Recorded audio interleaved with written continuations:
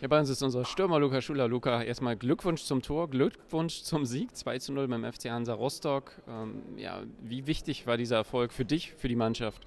Ja, natürlich extrem. Äh, ich glaube, wir hatten viele gute Spiele dabei. Ähm, gerade letzte Woche haben wir 65 Minuten richtig gutes Spiel gemacht. Dann haben es dann am Ende ja, selbst ein bisschen vergeigt. Deshalb äh, wollten wir heute unbedingt nachlegen, gerade in dem Derby. Ich glaube, da, da ist es umso wichtiger und das haben wir heute richtig gut gemacht. Verdient 2-0 gewonnen und äh, ja, einfach eine geile Leistung von der Mannschaft. Ja, du hast dann den wichtigen Führungstreffer äh, erzielt. Äh, nimm uns mal mit. War, glaube ich, gar nicht so einfach, weil du ein bisschen Zeit hattest nachzudenken. Ja, in, in der Regel hat man gerade bei so Bällen viel Zeit nachzudenken. In dem Fall habe ich es nicht gemacht. Ähm, ich bin so schnell wie möglich Richtung Tor und habe hab mich dann entschieden für das Eck. Es hat geklappt und äh, wie du es gesagt hast, 1 ist natürlich wichtig, gerade für die Mannschaft, um gut ins Spiel zu kommen. Selbstvertrauen steigt natürlich dadurch. Deshalb äh, war das ein schönes und wichtiges Tor. Die ersten Gedanken danach direkt? Ah, pure Freude pure Freude. Ähm, habe jetzt auch äh, die eine oder andere gute Chance gehabt, die nicht reingegangen ist. Deshalb ist es äh, gerade für mich natürlich ein schöner Moment, dass es mal wieder geklappt hat, dann noch mit dem 1-0 und dass wir uns dann noch belohnt haben mit dem 2-0-Sieg, war natürlich umso schöner. Ja, du bist eben schon gefragt worden, was ähm, einem Barisch Artig dann so ins Gesicht schreit nach einem Treffer. Ähm, wie, wie war es? Was hat er gesagt? Das sind natürlich pure Emotionen. Äh, man nimmt sich viel vor im Spiel und gerade wenn es dann klappt und wenn es so funktioniert, ich, ich, kann gar nicht mal alles zusammenbekommen, was er gesagt hat, aber wie gesagt, das sind pure Emotionen, ähm, die dann rauskommen in dem Moment und äh, einfach Freude. Geiler Moment. Für uns, für den gesamten Verein natürlich ein super wichtiger äh, Sieg zu einem wichtigen Zeitpunkt auch. Ähm, Abstand nach unten ist jetzt vergrößert. Ähm, was macht das auch mit euch? Was gibt euch das, wenn ihr jetzt gerade auf die Tabelle für den Moment schaut? Ja, natürlich Selbstbewusstsein, gerade das Spiel, Derby, das ist wichtig. Äh, Derbys sind da, um sie zu gewinnen, das haben wir heute gemacht. Und ich glaube, wir haben jetzt einen wichtigen Schritt gemacht. Und nächste Woche wollen und müssen wir nachlegen. Ähm, da zählt nichts außer ein Dreier, äh, gerade zu Hause. Und äh, das wollen wir die Woche angehen. Alles klar, Luca. Dann vielen, vielen Dank und natürlich genießt den Moment und den Sieg und dein Tor. Dankeschön. Bei uns ist unser Cheftrainer Christian Tietz. Christian, am Ende hier 2 zu 0 beim FC Hansa Rostock. Ähm, aus deiner Sicht, wie wichtig war dieser Sieg heute? Ja, wenn, äh, wenn ihr auf, der, auf die tabellarische Situation spricht, dann war es natürlich ein, ein wichtiger Sieg weil, weil, weil du damit auch einen Schritt machen konntest. Aber es ist, ist so, wir haben jetzt einige Spiele leider uns nicht belohnen können, wo, wo wir eigentlich schon vor drei, drei Punkte holen gekonnt hätten. Und jetzt war es natürlich hier heute auswärts in, in Rostock auch, auch noch zu null ohne Gegentor und, und zwei Eigentore geschossen. Ein, wichtiger Sieg auch für, für die Mannschaft, für das Selbstwertgefühl, für die Klarheit da, da und, und vor allen Dingen auch in nächster Woche, dass wir auch so ein Spiel über die Zeit holen können. Es ist ja so, dass äh, dieses Spiel auch einige Geschichten darüber hinaus hat. Äh, Luca Schuler hat seit einiger Zeit wieder getroffen. Äh, Daniel Heber erzielt sein erstes Zweitligator. Ähm, was macht es dann auch mit der Mannschaft und wie siehst du es denn auch in dieser persönlichen Statistik dann? Also zunächst mal freut es mich für beide Spieler, für Daniel, weil, weil äh, da auch einige Male geflaxt worden ist, dass er sich jetzt endlich mal mit dem Kopfballtor und auch noch von dem Innenverteidiger belohnt hat. Und bei Luca habe ich es aber schon gesagt, da, war, da ist es ganz einfach auch von der Wahrscheinlichkeit. Ja, umso öfter du nicht getroffen hast, kommt, wird, kommt der Zeitpunkt immer näher, wo du wieder triffst. Aber bei ihm war es ganz einfach auch so, dass der, der, dass der schon in den letzten Wochen sehr fokussiert war und auch in, in der Woche im Training gut abgeschlossen hat. Deswegen habe ich es auch schon vorher gesagt, für mich, für mich war es nur eine Frage der Zeit, bis er wieder trifft, weil er im Spiel sich auch wirklich viele gute Möglichkeiten holt und auch bei dem Tor geholt hat.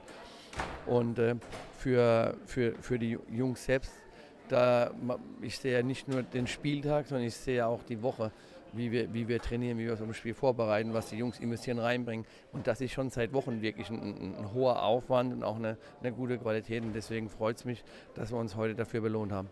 Zudem hast du ja betont, dass Fußball eben auch Kopfsache ist. Ähm, was macht denn das mit dem Kopf jetzt, wenn eben ein bisschen Luft nach unten ist auf der einen Seite, aber auch so ein Sieg im Rücken ist, weil dieser Trend ja eindeutig ist. Ja? Wir hatten das 0 zu 0 in Elversberg, jetzt das 2 zu 2 gegen den HSV und jetzt den Sieg.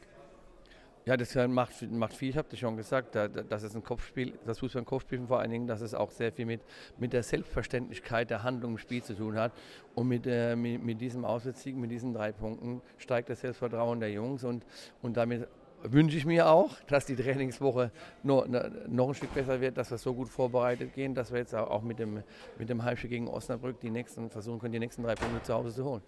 Ja, du hast es gesagt, in der ersten Halbzeit war auch viel Spielkontrolle drin. In der zweiten Halbzeit dann war es so ein bisschen eine abwartendere Taktik, weniger Ballbesitz als der Gegner auch, aber trotzdem äh, sicher in der Defensive. Ähm, wie hast du so die, die Halbzeiten und den Spielverlauf insgesamt gesehen? Ich habe das ja auch schon im Vorfeld gesagt, für uns war das ein Spiel, wir wollten uns nicht auf das Schlagspiel einlassen. Das, da, das war für uns schon wichtig, weil du, weil du weißt, dass du die Tiefe gegen, gegen Hansa Rostock verteidigen musst, mit den, wenn sie die langen Schläge bringen, wenn sie da mit Bröger einen schnellen, tiefen Spieler mit drin haben, muss ich dann auch nochmal gewechselt haben mit schnellen Spielern. Da waren, wir, da waren wir sehr konsequent.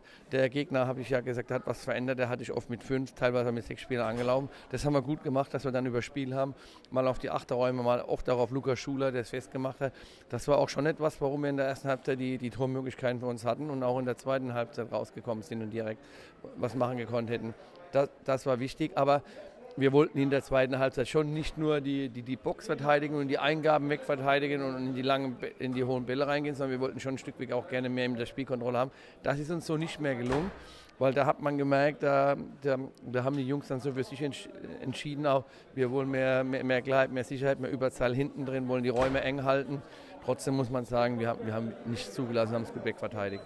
Ja, du sagst es gerade, es war ja wirklich auffällig dann auch gerade im Verlauf der zweiten Halbzeit. Ähm, viele, viele Zweikämpfe, auch, auch spektakuläre äh, Rettungstaten, ähm, aber vor dem 16er auch, aber auch eben dieses Pushen gegenseitig dann. Ähm, war das dann einfach auch ein ganz, ganz wichtiges Signal so aus der Mannschaft heraus, ähm, dass dieser unbändige Wille heute klar zu sehen war? Ja, und auch wir haben ja heute schon eine Vielzahl an Zweikämpfen und was ja, glaube ich, so ein bisschen aufgrund der, der vielen hohen Bälle, die kommen, was untergeht. Und mit, mit äh, Daniel Fadl, mit Tobi Müller und mit Daniel Heber, die haben in der Luft wirklich fast alles weggeholt. Wir haben die zweiten Bälle mit Silas Knacker gut aufgesammelt und auch dann hat man auch dieses Beispiel gesehen, wie Andi Hodi reinkam, wie er, wenn es dann zu Standards kam, die, die Bälle weggeholt hat. Das war heute ein wichtiger Aspekt in dem Spiel, dass wir den Gegner nicht in seine Stärken reinkommen lassen. Abschließende Frage nochmal nach dem Spiel. Dann äh, hat die Mannschaft auch mit den Fans gefeiert. Bei den Fans hat man eben äh, nicht nur die Freude, sondern auch einfach eine gewisse Erleichterung natürlich gemerkt, auch eine gewisse Leichtigkeit. Wie sehr freut dich das dann auch, wenn ähm, die Mannschaft so ausgelassen natürlich mit den Fans äh, feiern können und natürlich die Fans dann auch wirklich glücklich nach Hause fahren? Also das freut mich natürlich über, über dermaßen. Ich muss schon sagen, was, was bei unser, unsere Fans mit, mit, mit Block U, mit den Kapos, wie sie die Mannschaft hier über die, die komplette Saison unterstützen, wie sie sie auch nach den Spielen verabschieden, auch nach Spielen, wo wir nicht erfolgreich waren, das ist schon außergewöhnlich und deswegen ist es umso schöner, dass sie sich heute belohnt haben. Ich weiß aufgrund der Tatsache, dass wir die letzten Wochen öfter Punkte liegen lassen haben, dass man, dass man, auch, so, dass man auch ein gewisses Angstgefühl in sich hat. Aber da, das, das ist gut, dass die, dass die Jungs trotzdem das für sich ferngehalten haben, heute gewonnen haben, dass wir heute gemeinsam mit, mit allen uns hier und ich weiß, wie, wie wichtig die, ein Auswärtssieg für Menschen hier in Rostock ist, also aus Mark, für, für die Magdeburger. Deswegen freut es mich unglaublich, da, dass wir alle ein Stück weg zufrieden heute nach Hause gehen können. Alles klar, Trainer. Dann vielen, vielen Dank. Glückwunsch nochmal und gute Heimfahrt natürlich. Danke euch auch.